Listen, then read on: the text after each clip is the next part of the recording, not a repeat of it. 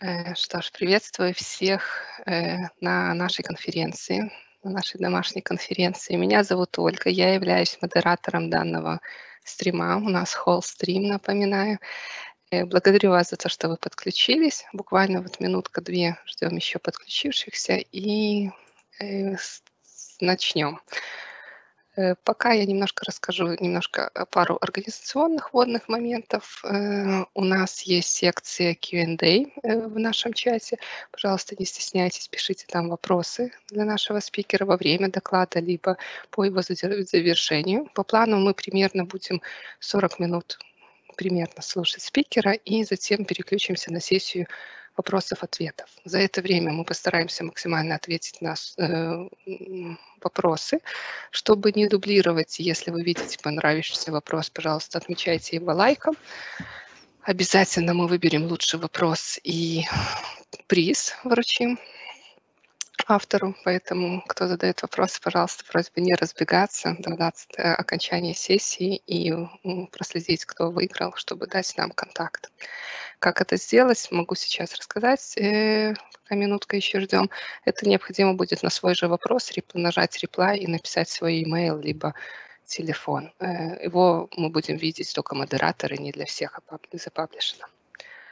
Окей, в принципе, минутка прошла. Можем двигаться далее. Представляю нашего спикера. Перед нами сегодня с докладом выступит Дани Стазентинов. В этом докладе мы поговорим о приложениях для смартфонов. Э, количество их неудержимо растет, и мы обсудим компоненты iOS, которые позволяют напомнить о себе пользователю, привлечь новых и удерживать внимание существующих. Все, передаю слово Данису. Да, всем привет. Мы поговорим про AppClips, виджет, виджетс и все остальное.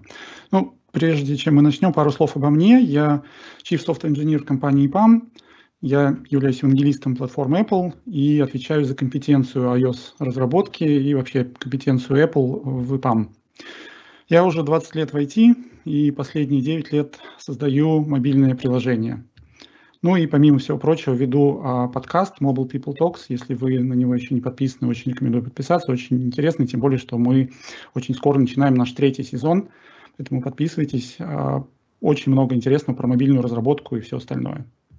Ну, давайте начнем, собственно, наш доклад. А давайте начнем с простого вопроса. Подумайте, как вы считаете, сколько приложений стоит в среднем на смартфоне у такого среднестатистического пользователя?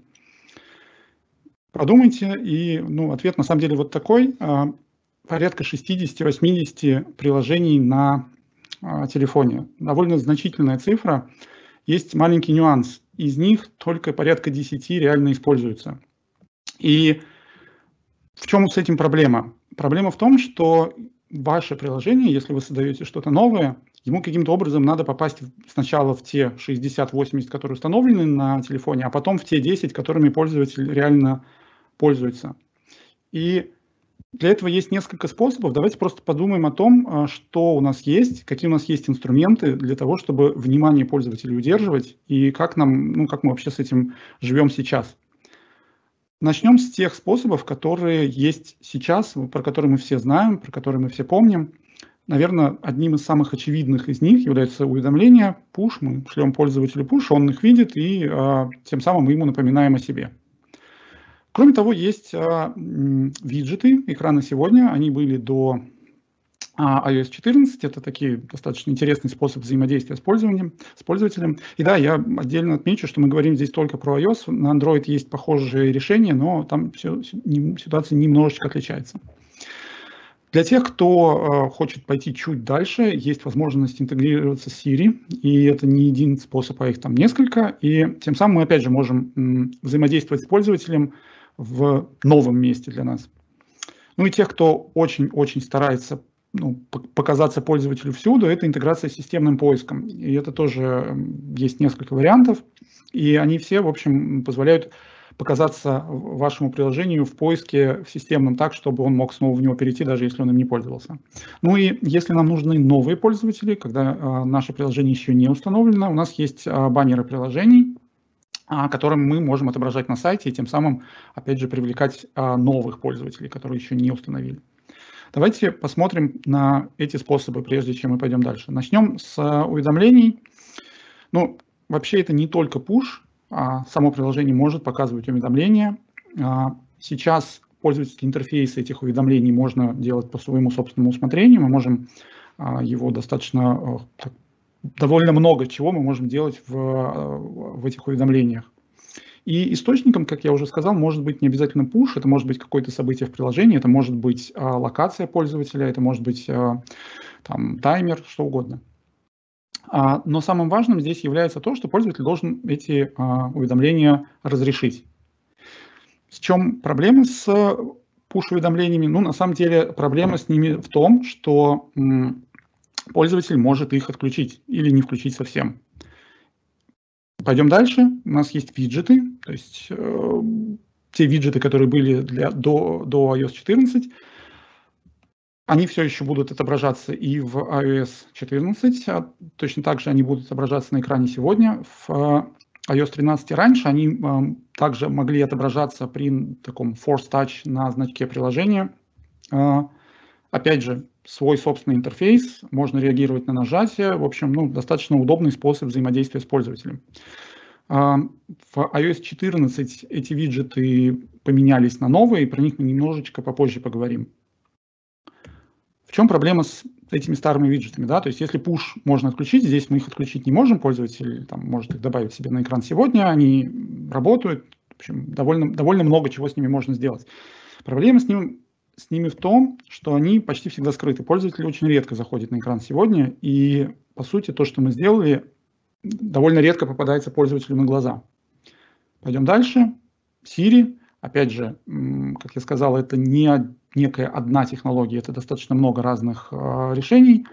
В первую очередь, наиболее правильная интеграция Siri – это Siri Intense, то есть тот самый фреймворк, который позволяет нашему приложению интегрироваться с Siri напрямую и задать ему некий контекст, с которым наше приложение может работать. Помимо этого есть э, класс NS User Activity, про него мы сегодня тоже будем несколько раз еще э, говорить, который позволяет чуть легче интегрироваться с Siri из нашего приложения. И помимо всего прочего есть приложение Shortcuts, оно же команды, с которым, это, ну, по сути, это тоже один из способов интеграции Siri нашего приложения. Ну и опять же, если мы хорошо синтегрировали Siri, Siri будет рекомендовать наше приложение пользователю в определенный момент. Для этого нужно выполнить ряд условий, но это не что-то, что нужно делать прямо чрезвычайно а, сложно. Это достаточно просто. Если пользователь пользуется приложением, Siri будет его рекомендовать пользователю. Ничего сложного. Что такое Siri Intent? А, это способ распознавания речи и а, извлечения из нее контекста. То есть если мы объясним системе, что наше приложение хочет делать, например, там, отправить сообщение или еще что-то, то система распознает, что пользователь сказал, выделит из него ключевую для нас информацию и отдаст нам уже ее в структурированном виде. Помимо э, стандартного набора интентов, э, который включает в себя достаточно много различных э, вариантов использования нашего приложения, э, помимо там, даже некоторых довольно интересных в виде управления системой автомобиля, самым важным моментом является то, что мы можем создавать свои собственные интенты, то есть мы можем описать некое действие в приложении, которое будет вызываться голосом, и более того, мы можем определенные параметры а, задать так, чтобы а, Siri распознала в речи пользователя значение этих параметров. Таким образом, мы можем, по сути, никогда не запускать наше приложение, пользователь будет с ним общаться исключительно с помощью Siri. А следующий класс, который нам позволит интегрироваться с Siri чуть проще, без написания такого достаточно большого куска кода, а, это NS User Activity. И он, по сути, описывает некое действие пользователя в приложении. А, помимо этого, он позволяет сохранить контекст действий, то есть это некое состояние. Например, если человек создает заметку, мы можем сохранить, что он написал в настоящий момент, и это будет использоваться в дальнейшем. И а, появился этот класс на самом деле достаточно давно, когда появилась технология handoff для взаимодействия а, iOS-девайсов и Mac. То есть мы могли передать а, работу с одного устройства на другое. А, помимо всего прочего, NS User Activity позволит нам интегрироваться с поиском. Тоже про это еще немножко поговорим. Ну и опять же, как я сказал, это способ интеграции Siri. То есть если мы отметим действие пользователя как индексируемой Siri, то в дальнейшем с помощью этого голосовой команды можно будет вызвать это действие через Siri. Ну и самым таким интересным способом здесь является интеграция с меню uh, Wind Down, то есть меню отхода ко сну, которое появилось в iOS 14. Вы можете добавить свое приложение туда, если, например, ваше приложение связано там с uh, там, не знаю, релаксацией или uh, с ведением дневника, или еще там есть несколько наборов вариантов, которые допустимы, когда пользователь отходит ко сну. Ну и, наконец, Siri Shortcuts, приложение команды. На самом деле, если вы э, реализовали Siri Intent или Siri э, NS User Activity, то вы уже интегрировались с этими приложениями. Те действия, которые вы описали с помощью ваших, э, вашей интеграции Siri, будут доступны через команды. И что важно, эти команды можно будет комбинировать. То есть выход одной команды можно будет направлять к другой или просто их выполнять параллельно по какому-то действию. И что более важно, можно комбинировать команды из разных приложений. Тем самым пользователь получит возможность взаимодействовать с вашим приложением в рамках какого-то другого действия, более сложного.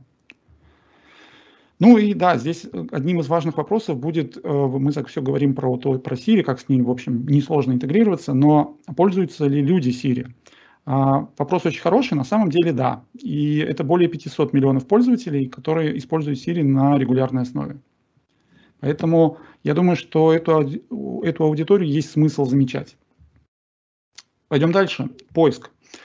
Ну, как я сказал, несколько разных способов. Можно использовать NS User Activity. Мы отмечаем контекст действия пользователя, например, просмотр заметки, и отмечаем, что она индексируется для поиска. И тем самым дальше поиск найдет эту заметку и перейдет пользователей системного поиска в наше приложение. Либо мы можем использовать фреймворк Core Spotlight и провести такую полноц- полноценную индексацию контента в вашем приложении, отдать этот э, индекс поиску, и он, соответственно, будет уже находить данные по нему, отправлять пользователя в наше приложение. Но да, здесь стоит отметить, что если про Siri мы можем сказать, что это такой достаточно хорошо используемый инструмент, то вот с поиском все не так радужно и не так много пользователей реально им пользуются. Но если вы используете NS User Activity, то для того, чтобы индексировать ваш контент в поиске, достаточно просто выставить один флажок в true, и все. И интеграция с поиском сделана, поэтому как бы нет смысла от этого отказываться. Ну и последнее, о чем мы говорим из существующих инструментов взаимодействия с пользователем, это аббаннеры. Это вещь, которая позволит нам привлечь новых пользователей. Да? Если пользователь заходит на сайт, у него есть ссылка на App Store, где он может скачать э, приложение, а если оно установлено, то мы можем а, открыть это приложение с помощью вот этого баннера, который отображается сверху. Ну, по-хорошему нужно реализовать еще и поддержку Universal Links, чтобы у нас э, работало приложение более качественно, но это чуть посложнее, и как бы суть примерно та же, да, мы получаем баннеры, и мы получаем переход в приложение с определенным URL. То есть, если у пользователя нет, это ссылка на App Store, и пользователю придется скачать приложение из App Store что поменялось в iOS 14. Да, вот, вот эти способы, они были, мы ими пользовались, в общем, в той или иной мере их было больше, меньше, но мы как-то к ним, к ним более или менее привыкли. В iOS 14 значка вашего приложения уже может не быть на рабочем столе. Появилась такая концепция, как э, библиотека приложений, и ваше приложение, несмотря на то, что оно установлено, оно может быть где-то здесь, и пользователь, возможно, никогда его не увидит больше. И тем самым это приведет к тому, что даже если вы смогли убедить пользователя установить приложение, он его, возможно, никогда больше не вспомнит и им не воспользуется. Но давайте разберем конкретный пример, да, чтобы не говорить голословно, давайте представим себе ситуацию. У нас есть приложение, а, но перед приложением, да, поговорим. У нас есть магазин, который торгует авокадо. И, а, как я уже сказал, это такой вполне себе конкретный бизнес. У него он есть физические магазины, они стоят там, допустим, где-то рядом с вашим магнитом или еще каким-нибудь продуктовым магазином. А владелец бизнеса хочет уменьшить очереди, потому что очереди это, в общем, потенциально человек, который уйдет и не захочет покупать, и, в общем, толпа в магазине никому сейчас не нужна. Поэтому а, есть желание, мы знаем, что у покупателей есть смартфоны, и мы можем использовать эти смартфоны для того, чтобы пользователи могли сканировать товары самостоятельно и оплачивать, соответственно, покупки прямо через приложение. Если это приложение уже написано, встает главный вопрос, как сделать так, чтобы у всех посетителей магазина это приложение было установлено. Что нам для этого нужно сделать? Как это было раньше? А, ну, во-первых, да, пользователь должен узнать о существовании приложения. А, каким-то образом он должен его найти в App Store, скачать его из App Store. А, при этом ему иногда нужно еще вспомнить пароль от его Apple ID, о чем он мог уже давно забыть, если он давно не устанавливал ничего нового. Затем он должен его, ну, очевидно, запустить, пройти онбординг, который мы для него сделали, и вспомнить, зачем он, собственно, устанавливал все это приложение, все это делал. Что поменялось в iOS 14? А, все довольно просто. Пользователь должен отсканировать некий код. Приложение запускается. Профит. Да? Но на самом деле это не совсем приложение. А в России Apple называет а, это самое а, не совсем приложение Blitz приложениями. Мы, наверное, будем все-таки использовать а, терминологию AppClip. По сути своей это некое приложение, которое мы можем запустить, не устанавливая. Давайте поговорим о том, что мы, собственно, хотим получить. Да? У нас есть а, некое а, приложение, которое не нужно устанавливать. Мы сканируем код. А, это приложение позволит нам самостоятельно сканировать товары. И, как я уже сказал, мы его можем запустить, просто отсканировав код на двери магазина.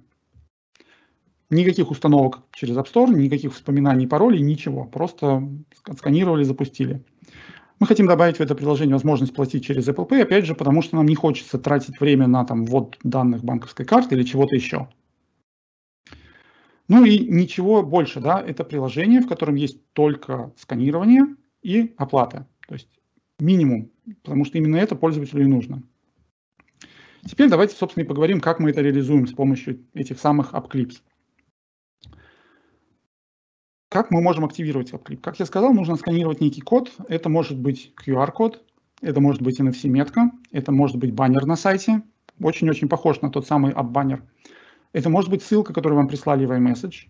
Это может быть э, информация о вашем магазине в картах. Это может быть подсказка со стороны Siri. Как я уже говорил, Siri э, довольно часто может рекомендовать интересные вещи.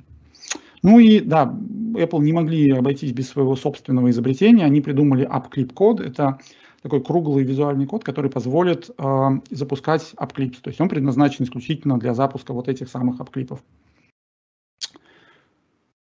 Как я сказал, AppClip это такое приложение, которое мы можем запустить не устанавливая, но давайте все-таки посмотрим, чего не могут AppClip. Да? Если это приложение, то чего не, они не могут делать. Во-первых, AppClip тесно связан с вашим основным приложением. То есть у вас есть некое основное приложение, AppClip – это а, его, по сути, часть. И он может быть для вашего приложения только один. То есть ваше основное приложение и один AppClip. И мы, наверное, еще упомянем, почему это важно, но чуть попозже. А, размер AppClip после того, как вы выполните процедуру AppFinning, не должен превышать 10 мегабайт. И это довольно заметное и довольно важное ограничение, на которое стоит обращать внимание. Ну и помимо всего прочего, у Eclipse нет доступа к большому количеству фреймворков или нет дан, доступа к этим данным, да, а, включая там данные о движении и так далее. То есть, если суммировать что и как, это, в общем-то, цель сделать сложнее а, автору апклипа отслеживать действия пользователей и, в общем, получить доступ к какой-то private информации. Ну и важный момент, что доступ к локации в фоне невозможен, ну и, собственно, большинство фоновых активностей для AppClip в принципе недоступны. Ну и, да, как я сказал, отслеживать э, пользователя нельзя из AppClip, поэтому доступ к IDFA и IDFE э, отсутствует. И тут еще один момент, да, AppClip может э, сохранять данные на устройстве, но эти данные не будут сохраняться в резервной копии. И, э, собственно, эти данные, да и сам AppClip при нехватке места на устройстве система может удалить. Да и, и, в общем, опять же, если не пользоваться апклипом в течение 30 дней, эти данные будут удалены в любом случае. Хотя на самом деле это может быть и не 30 дней, а некое какое-то время неактивности, которое может меняться а, с течением времени. Ну и последнее, что важно, да, из AppClip мы можем передать данные только в наше основное приложение. Мы не можем передать его в какое-то другое приложение нашего аккаунта. Или мы не можем а, шарить данные с, а, от другого приложения внутрь AppClip. То есть AppClip а, связан только с вашим основным приложением для этого AppClip. Мы тут говорим, говорим, все-таки, что такое AppClip. Да? AppClip – это iOS-приложение. И давайте посмотрим, как это вообще выглядит с точки зрения того, что мы отправляем в App Store. Да? Вот у нас есть некий архив, который мы готовим для отправки в App Store. В него входит наше основное приложение с его бандлом, с, там, в котором входят его ресурсы и бинарник с его экстеншенами. И в этот же архив входит еще AppClip с его AppClip бандлом, ресурсами и бинарником. И это две не пересекающиеся друг с другом вещи. Это два отдельных приложения, которые входят в наш архив, который мы отправляем в App Store. А теперь давайте посмотрим, как это выглядит с точки зрения устройства. А, мы устанавливаем AppClip, отсканировав код. Из App Store скачивается наш AppClip Bundle, и для него создается его sandbox. И если мы создали некий контейнер, который привязан к нашему AppClip, создается и он тоже. После того, как мы устанавливаем основное приложение, в этот же момент уничтожается AppClip и его sandbox. То есть никаких там уведомлений, ничего не будет, эти данные просто стираются. Но сохраняется контейнер, который был привязан к апклипу и нашему основному приложению. Таким образом, мы с помощью этого контейнера можем и передать данные в наше приложение.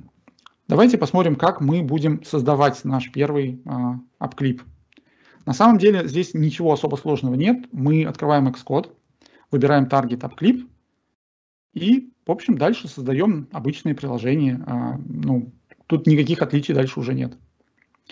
Как нам вообще э, писать этот апклип? Давайте посмотрим на, на простую вещь. Да, у нас есть код, который привязан как к основному приложению, так и апклипу.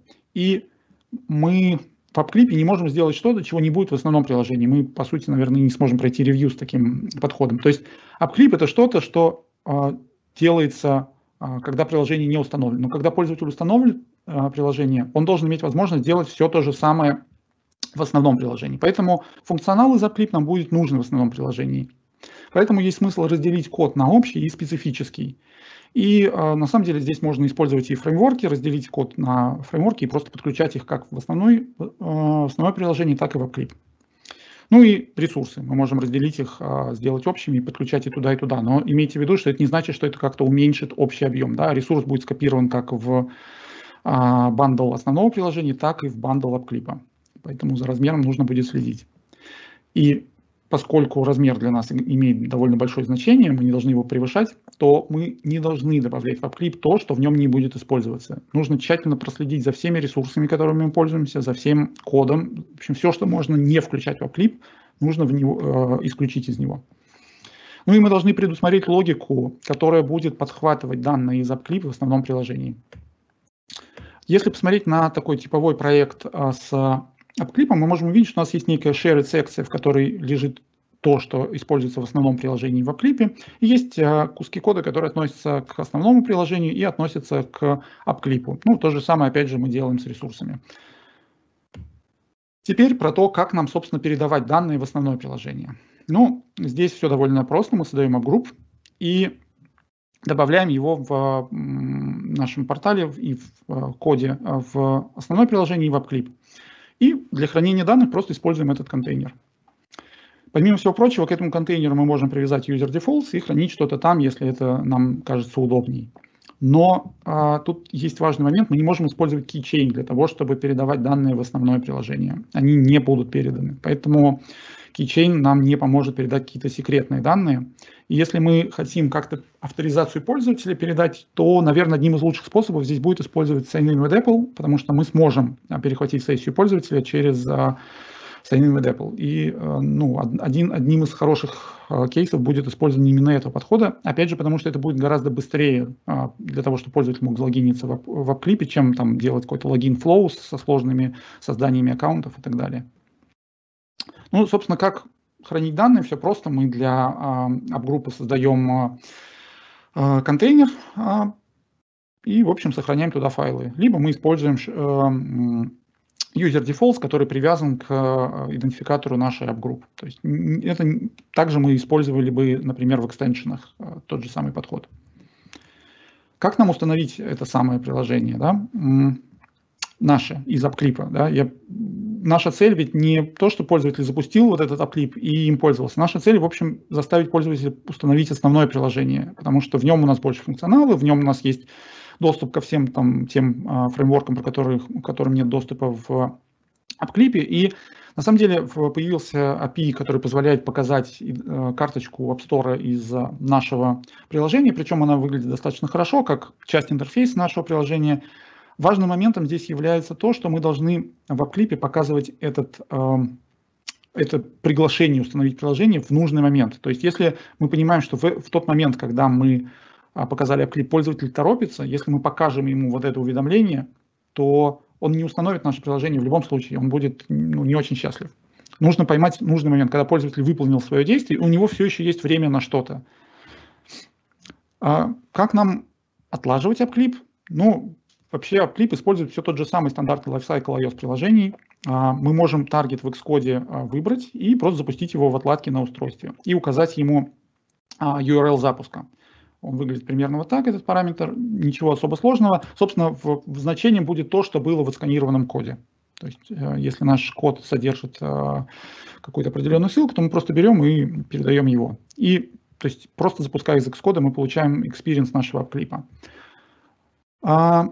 Важным моментом является то, что у нас один апклип для нашего приложения. Но нам иногда бывает нужно показать какие-то разные а, ну, то есть, если, допустим, у нас есть несколько разных магазинов, то нам важно а, каким-то образом разделить внешний вид нашего клипа в, для пользователя.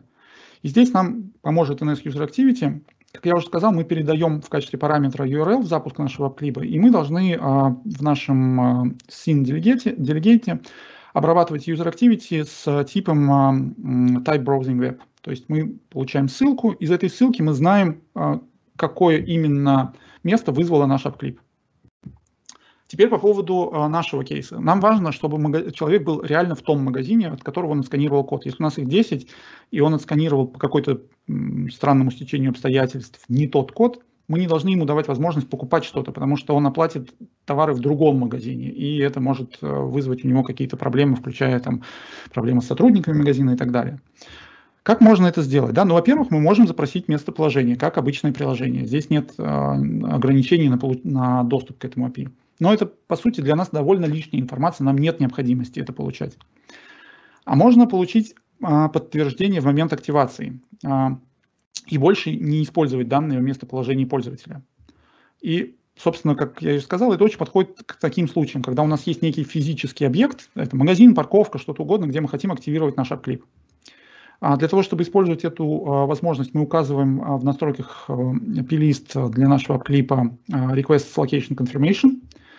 И в нашем коде, который запускается, мы должны определить регион, в котором будет, в котором должен находиться пользователь в момент активации.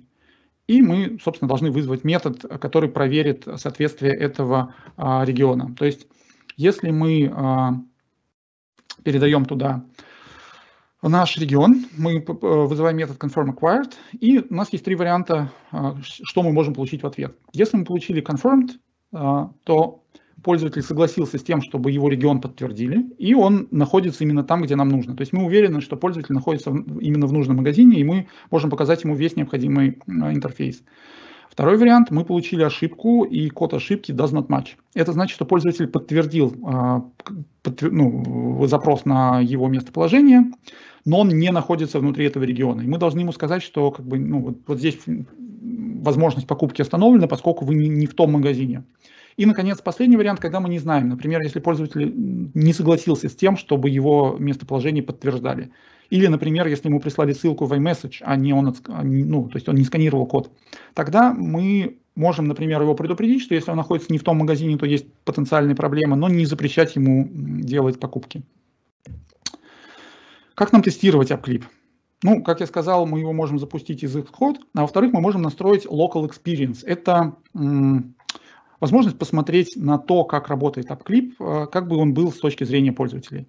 Когда у нас телефон находится в режиме отладки, мы можем зайти в настройки и настроить Local Experience для AppClip, где нам достаточно указать URL, и bundle ID, который нужно запустить. Ну и э, пару слов для карточки, которая должна отображаться. И тем самым мы можем, по сути, посмотреть, как бы это все выглядело с точки зрения живых пользователей.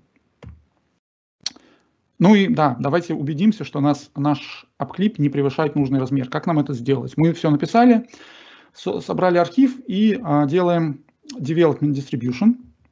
А, вызываем, выбираем, выбираем из списка наш апклип и выбираем uh, All Compatible Device вариант и выставляем галочку Rebuild from Bitcode.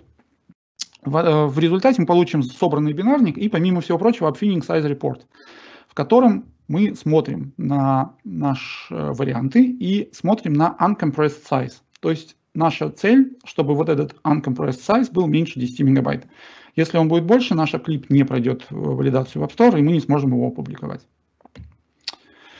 Мы поговорили про апклипы. Мы смогли привлечь пользователя. Может быть, он даже установил наше приложение. И теперь наша цель, чтобы наше приложение оказалось в, э, в списке тех 10, которыми пользователь продолжает пользоваться. И для этого мы будем использовать виджеты.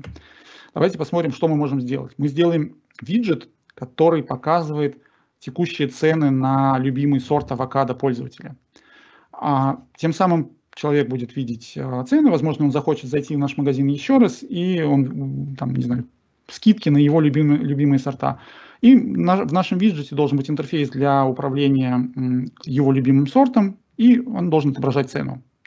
Давайте посмотрим, как нам, собственно, это использовать. Да? Как я сказал, а, виджеты, они новые, да, и теперь они могут быть на любом домашнем экране, что э, существенно повышает заметность этого виджета по сравнению с виджетом на экране сегодня. Мы можем весь экран заполнить этими виджетами запросто. И они могут быть разного размера, хотя а, сами размеры, они ну, фиксированы, вот этот набор этих размеров, он может быть там во весь экран, он может быть пол экрана, он может быть такой квадратик и так далее. И мы можем, в отличие от апклипов, содержать огромное количество разных виджетов для разных ситуаций. Мы можем добавить наш виджет э, с ценами, мы можем добавить что-то еще по нашему усмотрению. И самое важное, что интерфейс настройки параметров виджета – это системная часть. То есть нам не нужно вот эти настройки писать самим, нам достаточно сделать а, достаточно простую вещь, которую мы сейчас увидим. Ну и еще один момент, они очень экономичны с точки зрения того, как они работают. Об этом мы сейчас а, поговорим ближе к концу Давайте сделаем наш виджет. Как нам это делать? Опять же, все просто. Мы выбираем target widget extension и начинаем с того, что определяем конфигурацию. Если вы когда-то делали что-то для, для Siri, вам а, этот файл знаком, это intent definition, где мы описываем конфигурацию нашего виджета. Она описывается а, параметрами, и у параметров есть тип. Например, а, здесь у нас есть а, параметр авокадо, и типом будет являться м, набор сортов авокадо, который мы можем описать а, в виде инама. Это просто набор. Мы все эти параметры сохраняем в интенте, и дальше система будет использовать его, чтобы показывать интерфейс настройки виджета. То есть эту часть берет на себя система, мы, в общем, довольно с этим, мы с этим соглашаемся, и пусть она, в общем, дальше это делает. Теперь пишем а, наш виджет. Начнем с модели данных. И да, здесь а, Apple прямо нас подталкивает к тому, чтобы разделять слои. У нас есть протокол Timeline Entry, который мы должны реализовать. И для нас важным будет в нем только поле date, которое определяет, когда вот эта модель данных должна отображаться в виджете. То есть а, модель данных это то, что виджет отображает в каждый конкретный момент времени. Он берется из параметра date. Все остальное то, что мы хотим там отображать. То есть в нашем случае это там картинка, название, цена, и э, из placeholder это, сейчас еще чуть попозже поговорим, что за placeholder. Теперь нам нужна вьюшка для нашего виджета. И опять же, здесь у нас есть только Swift UI, мы не можем использовать UI-кит. А, Apple подталкивает нас к использованию Swift UI хотя бы в виджетах, но, собственно, а, в этом и кроется некая экономичность этих виджетов. Сейчас э, дойдем и до этого. Но на самом деле это несложно, учитывая, что вьюшки довольно маленькие, мы можем как раз очень хорошо попрактиковаться, если вы еще Swift UI где-то не используете в продакшне. Вот как раз очень хороший способ. И теперь мы пишем провайдер. На самом деле это один из важных классов, поскольку у нас есть view, у нас есть модель данных, нам нужен класс, который будет а, готовить эти самые модели данных для наших вьюшек. И у этого провайдера нам нужно реализовать три метода. Первый метод – это placeholder, то есть это та модель данных, которую мы должны отдать в вьюшке, когда наш виджет еще не добавлен на экран. То есть, условно, человек открыл интерфейс а, добавления виджета, и там вот мелькают вот эти плейсхолдеры э, каких-то виджетов. Но для того, чтобы он рендерился там, нам нужен какая-то такая placeholder модель данных. Вот этот, собственно, метод должен вернуть такую модель данных. А второй метод должен вернуть снапшот. Это данные, которые нужны прямо сейчас. То есть, условно, этот метод должен вернуть одну модель данных, которая актуальна на данный момент времени. И третий метод, он должен вернуть таймлайн. А что такое таймлайн? Если мы знаем, как будет меняться содержимое а, нашего виджета в течение времени, мы можем его а, спрогнозировать вперед и задать такой массив entry, который будет отображаться, когда наступит определенный момент времени. Как только мы, как только этот таймлайн закончится, он, он будет перезагружаться системой автоматически. То есть этот метод должен возвращать модели данных вперед в будущее, если мы это знаем. Ну, в нашем случае мы знаем, как будут меняться цены в течение сегодняшнего дня. Мы можем написать этот метод, и он вернет необходимые данные. Ну и все это вместе собираем в виде структуры, типа, э, которая реализует протокол виджет, которым мы должны реализовать э, там, простейшие методы о том, которые вернут провайдер, intent и, э, собственно, конфигурация, какие размеры мы поддерживаем. Все. Давайте теперь посмотрим, как виджет работает и в чем, собственно, проявляется эта экономичность. А, что происходит, когда мы открываем интерфейс добавления виджета? Создается модель placeholder, это делает провайдер. А, из этой модели placeholder а, она отдается во вьюшку, и эта вьюшка рендерится в картинку, просто статичную картинку, которая после этого отображается пользователю в интерфейсе. На этот момент все остальное больше не работает. Там не работает ни провайдер, ни а, ничего. Никакой логики не выполняется. Работа с картинкой очень экономична. Теперь виджет добавляется на экран. Пользователь выбрал а, его любимый виджет, он его добавил на экран. Добавил на экран. Что происходит дальше? Уничтожается модель placeholder, уничтожается картинка, которая была создана, берется модель snapshot, из этой модели snapshot создается view. Из этой view рендерится картинка, отображается пользователю. И проходит время, а, наступает момент, когда нужно отобразить следующую модель из таймлайна. А, модель snapshot уничтожается, берется модель из таймлайна, а, из нее рендерится view, из, этот view сериализуется в картинку, отображается пользователю. То есть все, что мы сейчас видим, что наш виджет работает короткий момент времени, чтобы создать вьюшку, и после этого больше никаким образом не тратит ресурсы системы. Ну и когда таймлайн заканчивается, создается новый таймлайн, из нее берется модель, отображается, передается во вьюшку, вьюшка рендерится, все счастливы. То есть у нас, по сути, вот этот цикл, который а, работает, он позволяет обновлять картинку ровно в тот момент, когда это нужно, и больше не тратить на это ресурсы. Ну и давайте теперь немножко подведем итоги. Что мы будем делать? Да? Нам нужно окружить нашего пользователя со всех сторон. Да? Мы можем использовать AppClips для того, чтобы привести новых пользователей приложений. Да? Мы их используем, чтобы у нас появились новые пользователи. А в чем плюс использования клипов по сравнению с прошлыми способами? Когда он установит приложение, он уже и так знает, как оно выглядит и что в нем есть. То есть вот этот онбординг, который нам нужно было делать раньше, его можно существенно сократить и сделать гораздо легче, чтобы пользователь мог а, сразу приступить к тем а, делам в приложении, которые ему нужны. Когда он, установил приложение, мы можем использовать виджеты, чтобы а, мы оставались видны пользователю. Виджет больше значка приложения, он заметней, поэтому если мы можем использовать виджеты, то а, пользователь будет больше обращать внимание на наше приложение. Единственное, что я хочу здесь сказать, что их надо использовать разумно. Да? Пользователь точно так же может удалить этот виджет, если он показывает ерунду, или если он показывает неактуальную информацию, или если он просто используется для того, чтобы показывать какую-то рекламу. То есть виджет должен а, решать какую-то проблему пользователя, должен помогать ему жить, а не просто эм, заявлять о себе. Ну и эм, если мы говорили сейчас про виджеты и апклипы, старые способы никуда не делись. Уведомления все еще есть. Siri все еще работает, и это все те же самые 500 миллионов пользователей, и сейчас, наверное, уже гораздо больше. Поиск по-прежнему кем-то пользуется. Это может быть там какие-нибудь 2-3%, но как бы для них вы тоже можете что-то сделать. Ну и самое важное, да, если вы еще не используете MS User Activity в своих а, приложениях, вот это то самое время, когда уже нужно. То есть этот класс решает огромное количество проблем и помогает вашему приложению оставаться на виду в совершенно разных ситуациях. Ну и а, прежде чем мы закончим, пара а, ссылок. Отдельно хочу отметить, что Apple а, последние несколько лет очень много внимания уделяет документации и документация по AppClips, документация по WidgetKit – это очень хорошие примеры того, как нужно делать документацию. Сейчас а, по ней реально можно разобраться, как писать приложение. Она отвечает на довольно важные вопросы, и а, с помощью нее можно начать делать именно то, что вам хочется. При этом старые документации тоже есть. Да, если вы хотите все-таки начать интегрироваться с Siri, она тоже достаточно хорошо написана. NS User Activity, опять же, позволит вам добавить интеграцию с большим количеством системных компонентов довольно легко, поэтому посмотрите документацию на него. И на этом я бы хотел сказать вам большое спасибо за то, что вы оставались с нами. И, а, наверное, пришло время ваших вопросов. Э, да, спасибо, да, я э, на данный момент не вижу но вопросов. Еще раз всем присоединившимся расскажу, что у нас есть возможность в Q&A секции данного выступления написать вопрос для спикера, я его озвучу, обязательно ответим на него. За лучший вопрос мы, э, у нас приготовлен подарок, пожалуйста, проявляйте свою активность. э, пишите вопрос. Да, если вдруг э, сейчас здесь не хотите задавать вопрос, есть там вот ссылка на телеграм-чаты, куда вы можете тоже прийти, и там есть вопросы как по iOS-разработке, так и есть наш подкаст, или можете написать лично мне.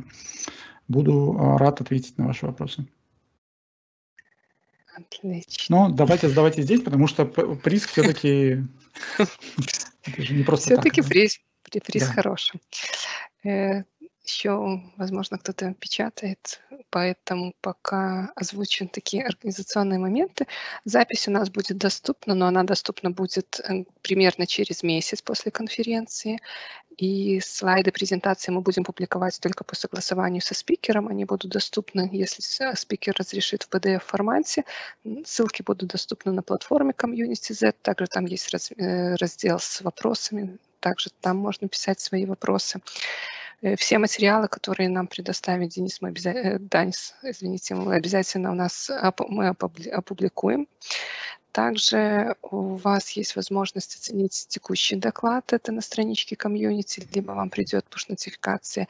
И в понедельник планируется у нас, мы вышлем форму для э, фидбэка в целом по конференции, э, чтобы ориентироваться Э, правильном ли мы направлении движемся, что возможно улучшить в следующий раз. Небольшой опросничек будет, если, ну, если есть возможность, заполните, пожалуйста. Пока не вижу новых вопросов. В чат сброшу информацию в целом про э, агенду, э, какая, что у нас еще сегодня планируется, какие активности. Переходите по ссылке читайте агенту, какие доступны еще сегодня э, выступления, какие доклады. Э, что касаемо нашего стрима, у нас э, планируется в нашем холл-стриме следующее выступление в 30 минут оно начнется в стриме. Холл это будет Александр Данисов, он лид software тестинг, лид software инженер, и там будет разговор про эволюцию сайт менеджмента. Брошу ссылочку всякий случай в чат. Возможно, интересно будет кому-то. Э, не вижу я новых опубликованных вопросов, но вижу, что у нас есть аудитория. Либо стесняется, либо очень хорошо. Э, Данис все нам рассказал. Расскажите, может быть, про ваш путь в IT, пока кто-то формулирует свою мысль, как вы На самом деле, да, я начал не с мобильных приложений. Собственно, когда я начинал свою карьеру в IT, мобильные приложения это еще не было а, таким свершившимся фактом. Да и мобильные телефоны на тот момент были, а, скажем, в основном с черно-белыми экранами и там, максимум с какими-нибудь играми а змейка, то это только в, в лучших моделях. А, я за, успел за это время пройти путь от а, таких ERP-систем, если кому-то это о чем-то говорит. Мы там делали системы, которые помогали бизнесу крутить большие заводы, в общем, делать что-то, планировать закупку ресурсов и так далее. Потом мы, когда-то я еще успел позаниматься разного рода корпоративными порталами, еще много чем. Ну и вот последние, с момента, наверное, когда вышел iPhone 4, я как-то осознал, что, наверное, именно этим хотел бы заниматься, и как-то вот с тех пор и занимаюсь, да, iOS-разработка – это то, чем мне особенно нравится заниматься сейчас. И к ним, к этим к iOS сейчас присоединились, наверное, другие платформы. Это и часы, это и tvOS, это и macOS, который сейчас тоже переживает такой большой период трансформации. И, мне кажется, с прошлого года появился какой-то такой некоторый интерес к этой платформе, а с этого года, мне кажется, он будет еще больше. Посмотрим. Но в общем и целом, наверное, тем, кто там сейчас нас слушал, хотел бы сказать, продолжайте заниматься разработкой, пишите софт, пишите мобильные приложения, пишите любые, это классно. Спасибо. На, на данный момент не вижу вопросов. На самом деле есть у нас еще немножко времени, можем подождать, либо уже можем закругляться. Ну, может быть, если у вас есть вопрос, но вы еще не написали, там, маякните как-то в чате, чтобы мы вас подождали. Да, хотела каким-то значком, плюсиком. Да-да-да. Подождем. Ну и там, может быть, предвосхищая какие-то вопросы, э, то, о чем мы говорили сегодня, это то, что уже используется. И AppClip, и виджеты, они уже есть, и есть интерес со стороны компании к тому, чтобы эти функции появлялись в приложениях. Есть уже некоторые подходы того, как это делать. И, как я сказал, в общем, документация достаточно хорошо поможет в том, чтобы освоиться с этими технологиями. Спасибо.